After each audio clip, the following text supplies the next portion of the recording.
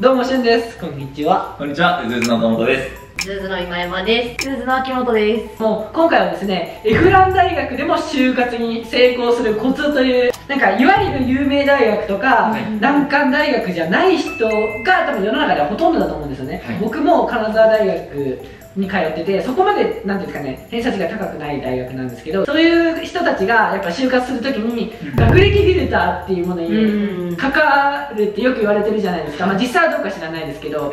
でその学歴フィルターにかかったりとかあとはなんだろうインターンとかもなかなか受かりにくかったりとかするんですけどもそういう人たちが就職活動に成功するためのコツみたいなものを今日は皆さんにお伺いできたら嬉しいなっていうふうに思っております。よろしくお願いします。よろしくおお願いし。ます。就職の成功って、まあ何かなみたいなところで言うと、結構、まず大前提で、こう、大手に行くのが成功とか、例えばあと、結構多く相談を受ける方が公務員になりたいっていう相談とか受けたりするんですけど結構私そう思ってると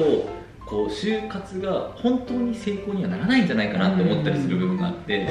っていうのは、えっと、なんでそう思うかっていうと、はい。それって大手から内定をもらうこと公務員になること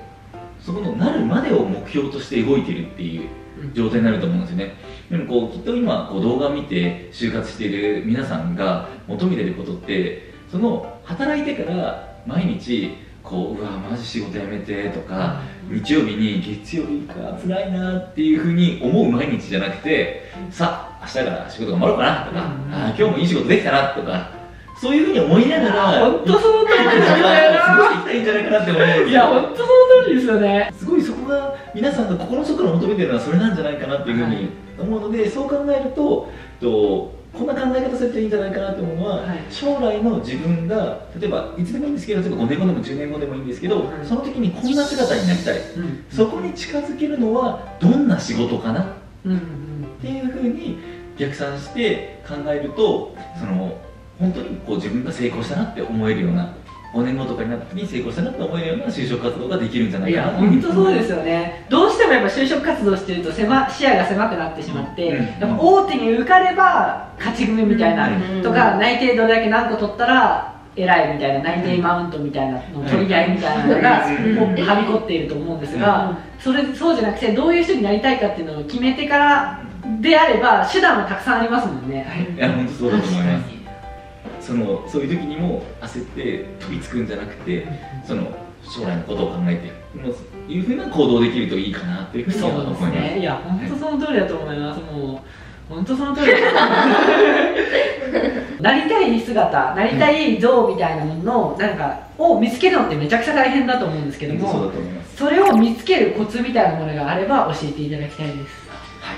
本当に今ももちの言う通りでこう今って一つの会社で一生働くみたいな時代ではだいぶなくなってきてるんで、はい。そういうこう先を見据えてステップとして考えるっていうのも全然いいなっていうふうに思っていますしあともう一個じゃあその先を見据える私も最初に言ったようにこう未来を見据えて逆算するの未来が定まらない方も多いと思うんですよ、はい。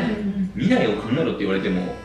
まあそうですね。楽しみにしてたらいいよっていうふうなのがぶっちゃけ本音だと思うんですよ。働いたことないと。でなかなかねこう難しいと思うんですよね、はい。そういうのをこう見つけ見つけていくのって、はい。例えばそういう方とかの場合だったらさっきあの今やんが言ってたみたいにやっぱりそのアルバイトとかインターンとかでこうやっぱり仕事に近い経験でこう全力で PDCA を回すっていう経験をするのがすごくいいなと思っててやっぱり仕事に近い経験をするとそこで働いてる人の話とか聞けると思うんですよ、うん。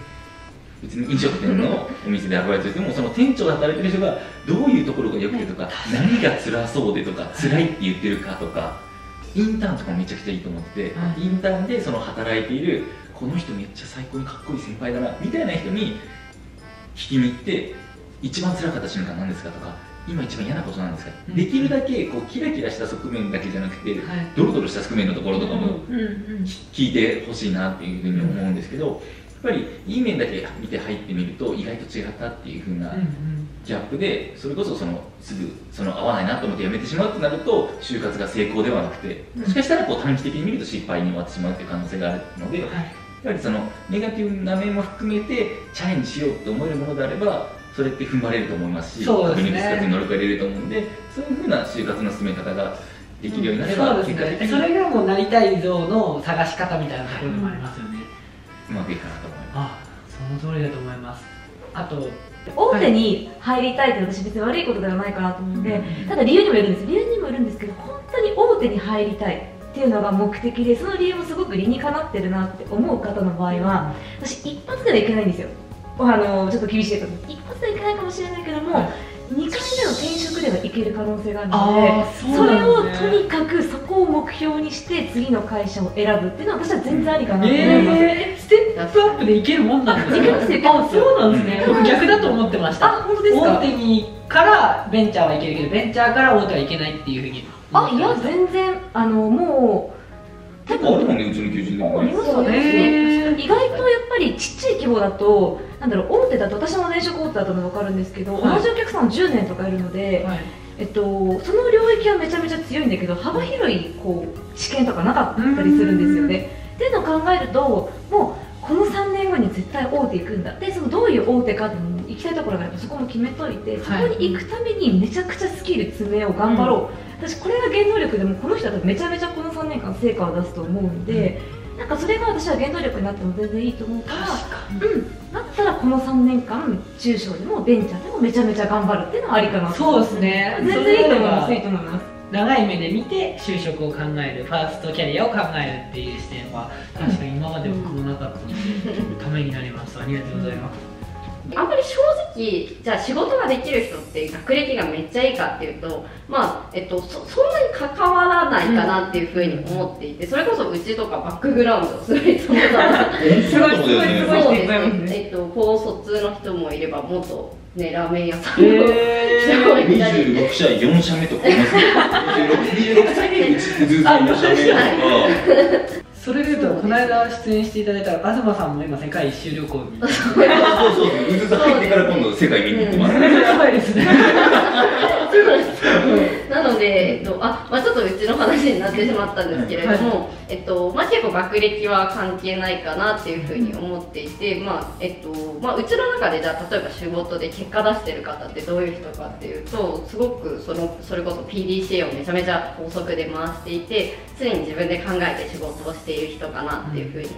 思っています。でえっとまあ、私とかを例に挙げると NG パターンというか、あれなんですけど結構学校の勉強めっちゃ頑張ってきた方とかだとなんかその正解をも求めすぎちゃう。あまあ正解ねないと不安になるもんね。そうです、ん。それで本当に合ってるのかなみたいなのが悩んじゃって少し成長速度が遅くなっちゃうみたいなのあったりするので都度まあ行動しながらあこれダメだったな。じゃあもっとこうしたらいいかなみたいな改善していくことができる方とかって結構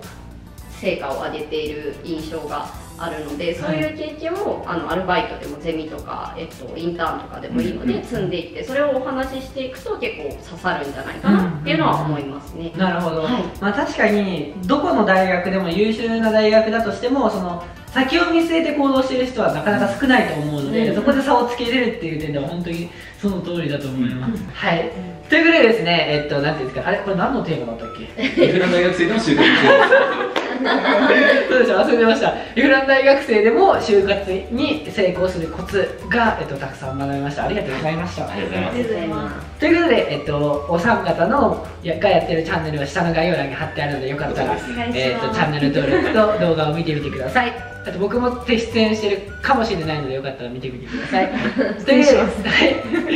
ということで今日の動画は終わりです。チャンネル登録お願いします。じゃあな